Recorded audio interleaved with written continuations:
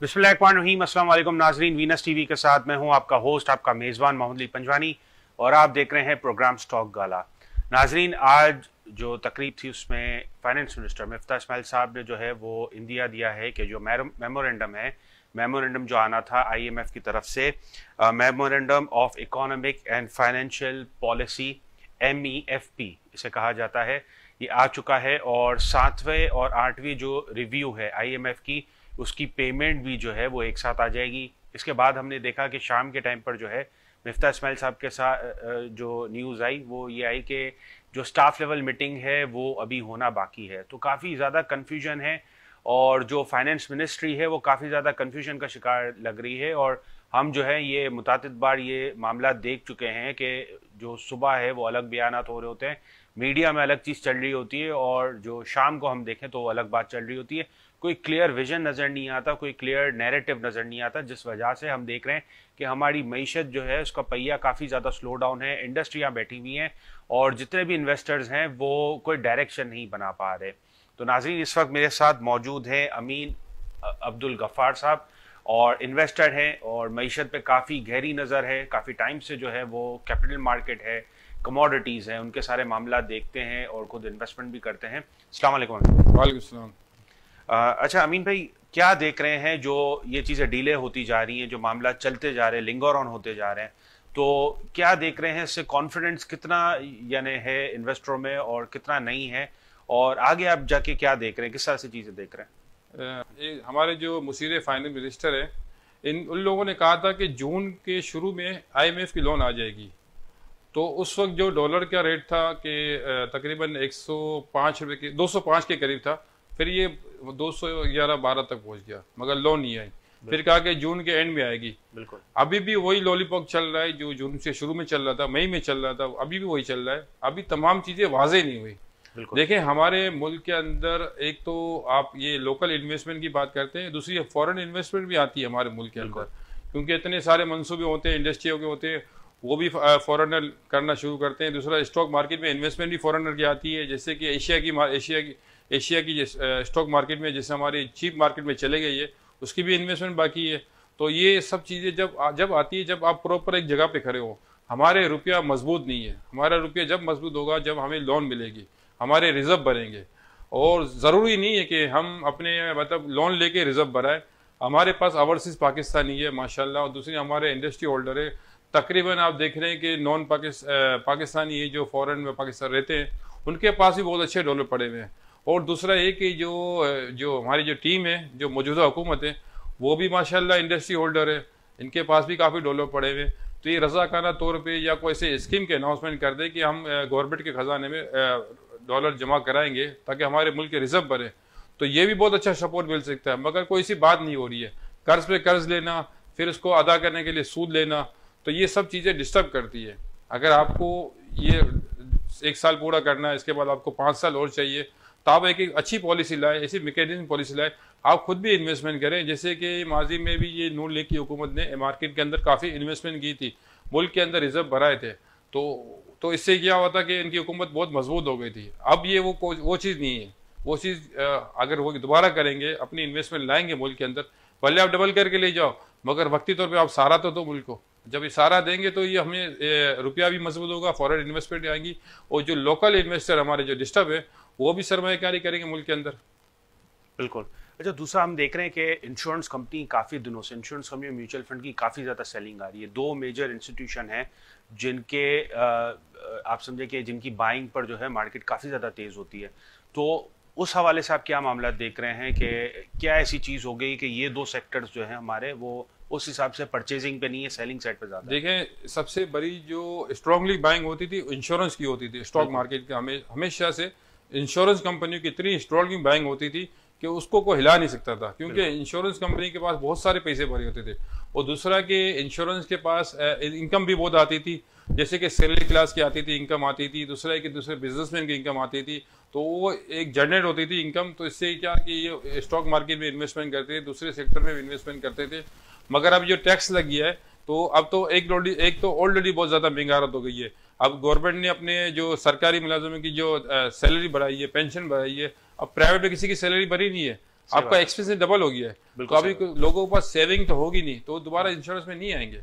सही यानी salaried class पे जो क्लास टैक्स लगा है टैक्स लगा इससे पहले भी जो नून लीग की हुकूमत थी जो 2014 में लोगों ने 12 लाख तक टैक्स एग्ज़ाम करा दिया था सैलरी क्लास को। फिर दोबारा ये लोग आए तो लोगों ने दोबारा एग्ज़ाम करा दिया तो फिर दोबारा दोबारा टैक्स लगा दिया।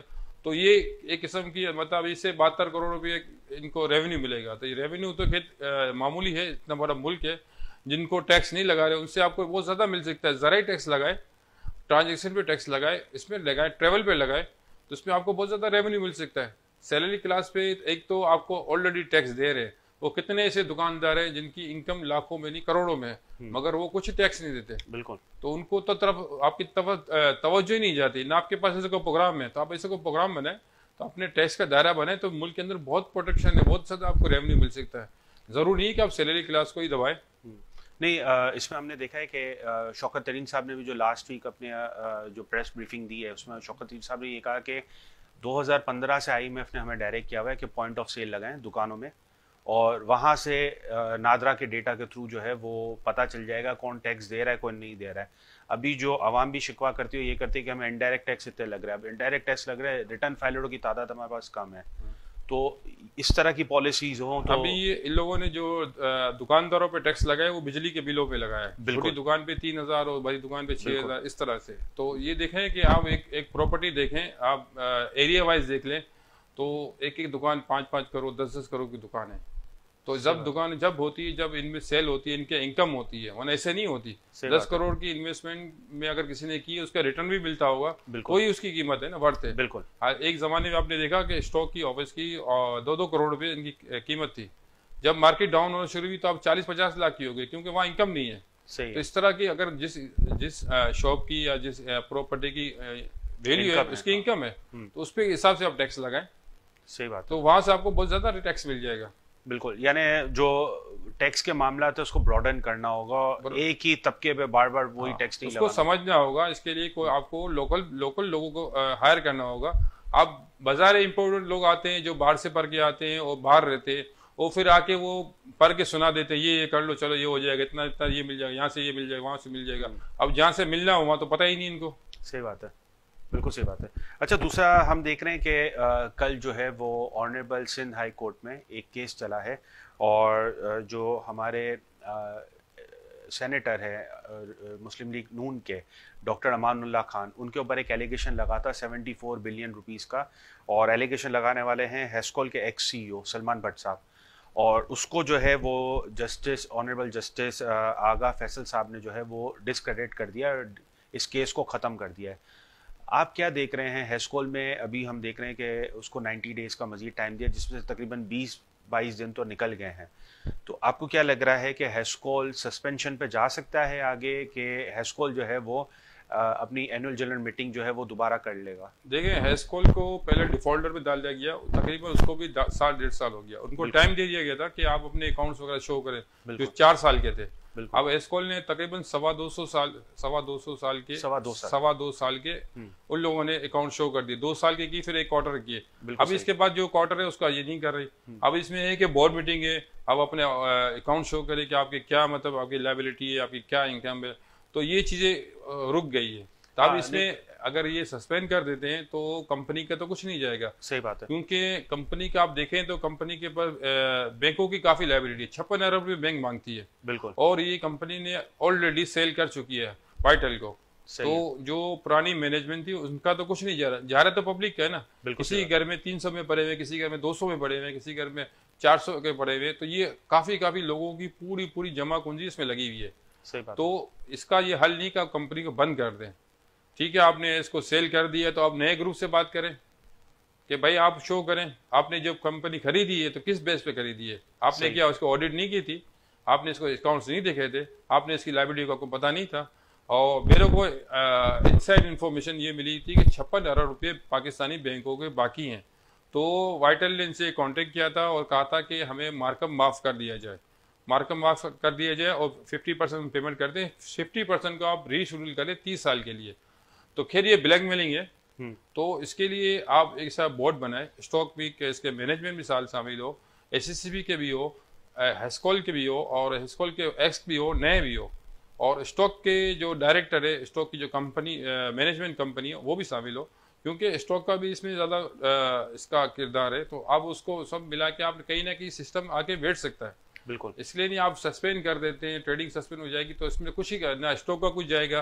ना स्टॉक में जो काम जो जो सस्पेंड करते हैं ना उनकी इन्वेस्टमेंट की हुई है ना कंपनी की इन्वेस्टमेंट की इन्वेस्टमेंट पब्लिक की है। पब्लिक को नुकसान होगा। बिल्कुल तो ये पब्लिक के नुकसान करा कि आप अपनी जान छुड़ा ले आप, आप तंबे ले लेके ठीक है हमने ये काम कर दिया वो काम कर दिया मगर आपने तो हकदारों का हक तो खा गए ना। उसके साथ आपने जो हक हकदारों का हक खाया उसका आपने साथ दिया। तो आपने कोई काम तो नहीं किया ना। बिल्कुल तो ये इसके अलावा और कितनी ऐसी कंपनियाँ हैं जो बंद कर देते हैं ठीक है लिस्टिंग फ़ीस नहीं है, बंद कर दो बोर्ड मीटिंग नहीं की बंद कर दो अकाउंट शो नहीं की तो बंद कर दो। अब इसको, इसके इसको टेक ओवर कर लो कंपनी को। आप कंपनी छोड़ दो, आप नहीं चला अकाउंट शो कर सकते, आप मीटिंग नहीं कर सकते कंपनी छोड़ दो। आप इतनी अरबों रुपये की कंपनी है, आपके पास अरबों रुपये की प्रॉपर्टी लाख, दो लाख के लिए आप लिस्टिंग फ़ीस नहीं भरते सस्पेंड कर देते हैं। तो ये सिस्टम और सिस्टम की भी कमी है, उसको भी आप दुरुस्त करें। और ये जो अपने जो मुशीर ख़जाना है, उसको इन चीज़ों के बारे में सब पता है। ये माशाल्लाह इन लोगों ने कंपनियाँ चलाई है उनको हर चीज़ के बारे में पता है तो ये अगर ये ऐसा कोई ऐसी ये कर सकते हैं इनको एसकोल को भी रुकवा सकते हैं सस्पेंड में और दूसरी जो कंपनियाँ बंद हुई उसको भी खुलवा सकते हैं सारा कुछ कर सकते हैं उनको माशाल्लाह तजर्बा है और जो पुराने जो फाइनेंस मिनिस्टर थे देखो वो एम्प्लॉय थे उनको कुछ पता नहीं था हम्म। शौकत तरीन इनकी जब जब ये फ़र्स्ट टाइम पीपल्स पार्टी के बने तो उस वक्त सिर्फ़ बैंक का दस रुपये रेट था। और इसकी सिल्क बैंक के अंदर जितनी भी बड़ी बड़ी कंपनियाँ उन लोगों ने अकाउंट खोलाया था। हम्म। ये मैं आपको सही बता रहा हूँ स्क्रीन की बात बता रहा हूँ कि अच्छे अच्छे ग्रुपों ने सिल्क बैंक के अंदर अकाउंट खुलाया था क्योंकि फाइनेंस मिनिस्टर की थी। बिल्कुल। मगर उस वक्त उसका दस रुपये रेट था आज एक रुपये रेट है। हम्म। अब वो बैंक नहीं चला सकेगा उसको आपने मुल्क का पूरा मुल्क चलाने दे दिया। तो अब उसकी बात तो आप छोड़ें अब ये नई हुकूमत है ये देखो इनकी इंडस्ट्री चल रही है वो कामयाब है। जैसी भी महँगा रहा तो ये इंडस्ट्री चल रही है। हर मैनेजमेंट कर रहे हैं। तो ये, इनको ये मैकेनिज्म बनाना चाहिए कि अब ये जो कंपनियाँ बंद हो गई है या बंद होने वाली है, इसको रोक के इनका सिस्टम बनाए, उनको नई ट्रैक मिल रहा है नई मैनेजमेंट लाए, नए लोगों को हायर करें, ताकि पब्लिक का नुकसान हो। सही बात है। Thank you so much Amin भाई। आपने बड़ा अपना कीमती टाइम दिया हमें और जो टॉपिक्स थे, उस पर हमने काफ़ी ज़्यादा अच्छे से आपने एलेबरेट किया, खासतौर पर हैस्कॉल पे। नाजीन, ये ये थे हमारे साथ अमीन अब्दुल गफ़ार साहब इन्वेस्टर हैं। स्टॉक मार्केट पे काफ़ी ज़्यादा इनकी नॉलेज है, इनको कंपनियों के सारी तकरीबन चीज़ें पता है, मामला पता है कि क्या चल रहा है उन कंपनीज़ में, क्या नहीं चल रहा। हमारी भी जो है वो कोशिश यही है, काविश यही है कि हमारे जितने भी इन्वेस्टर हैं वो वेल अवेयर होंगे तो वो जो है वो किसी मामले में फंसेंगे नहीं स्टक नहीं होंगे, उनको हर चीज़ जो है बर वक्त पता होगी कि कंपनी के पीछे बैकग्राउंड में क्या मामला चल रहे हैं, क्या नहीं चल रहे नाजरीन एक और चीज़ आप लोग के साथ शेयर कर दी जाए, हमारा करंट अकाउंट डेफिसिट अगर हम देखें तो तजारती खसारा है, वो 131 परसेंट जो है मंथ ऑन मंथ बेसिस पे हम देखें तो उसमें इजाफा हुआ है। जो अप्रैल का महीने का अगर हम डेटा देखें तो 318 मिलियन डॉलर का हमारा तजारती खसारा था करंट अकाउंट डेफिसिट था, वो बढ़ के 1.43 बिलियन डॉलर्स हो गया है। तो नाजीन हमारे जो नंबर्स हैं वो दिन बर दिन बिगाड़ पैदा कर रहे हैं। इंटरेस्ट रेट कहा जाएगा? सात जुलाई को जो है मॉनेटरी पॉलिसी है इंटरेस्ट रेट कहाँ जाएगा वो भी देखना भी बाकी है। इसके अलावा आईएमएफ के क्या मामला होते हैं मेमोरेंडम पे अग्रीमेंट होता ही, नहीं होता। मिफ्ता इस्माइल साहब कंटिन्यू करेंगे या फिर इसाक डार साहब के जो है वो मंजर आम पे आने की खबरें उनमें सदाकत है कि नहीं है। डेवलपिंग स्टोरी है तो जितनी भी चीज़ें होंगी मामला होंगे, आपके साथ बर वक्त शेयर कर दी जाएँगी। नाजिन ब्रेक पे जाते हैं और ब्रेक के साथ ब्रेक के बाद आपके साथ डेटा शेयर किया जाएगा। मैं साथ रहिएगा।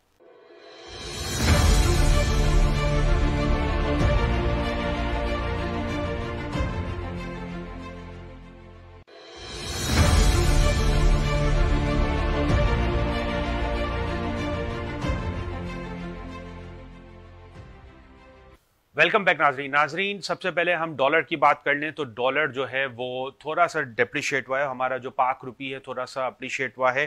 डॉलर का भी जो करंट रेट है इंटर बैंक में वो दो सौ छः आशारिया सतासी चल रहा है। जो पाक रुपी है उसने अप्रिशिएट किया है zero point five two percent coal price, Richards Bay, coal price का डेटा इस मुताबिक है, तीन सौ पंद्रह आशारिया पचास डॉलर चल रहा है, चार आशारिया पचास डॉलर इसने लूज किया है।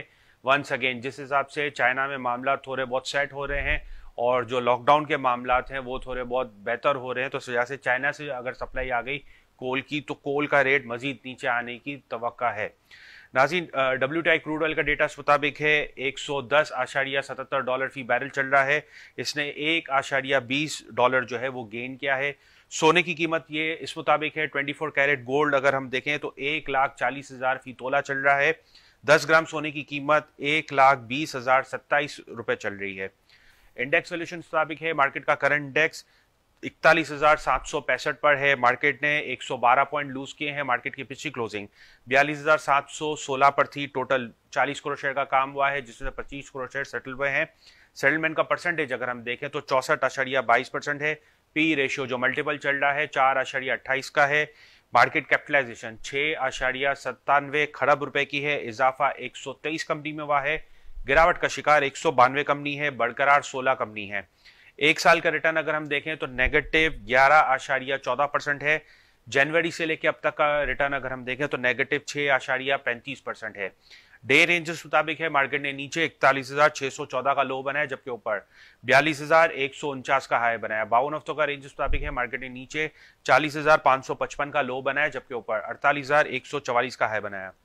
फीपीलीबी डेटा में अगर हम देखें तो जो बाइंग साइड पे पार्टिसिपेंट्स काफ़ी ज़्यादा हैं, इसमें हम सरे फहरिस देखें तो बैंकिंग सेक्टर है, उसने जो है वो काफ़ी अच्छी बाइंग की है। इसके बाद हम देखें तो ब्रोकर प्रोप्राइटरी जो है वो काफ़ी ज़्यादा बाइंग कर रहा है। जो ये इंडिकेट कर रहा है कि जो ओपन पोजीशन है, जो एमएफएस है एमटीएस है, उसमें जो है वो शेयर्स मूव हो रहे हैं ट्रांसफ़र हो रहे हैं। जो इंडिविजुअल क्लाइंट्स का जो माल है, वो एमएफ हो रहा है, वो बदले में जा रहा है।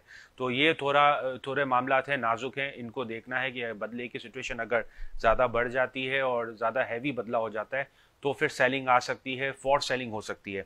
जो मेजर सेलर है वंस अगेन जो हमने प्रोग्राम में बात की और हमारे गेस्ट ने भी इसके ऊपर अपने सारी चीज़ें बताई मामला बताए तो वो देखें तो इंश्योरेंस कंपनी है, बहुत बड़ा सेलर है।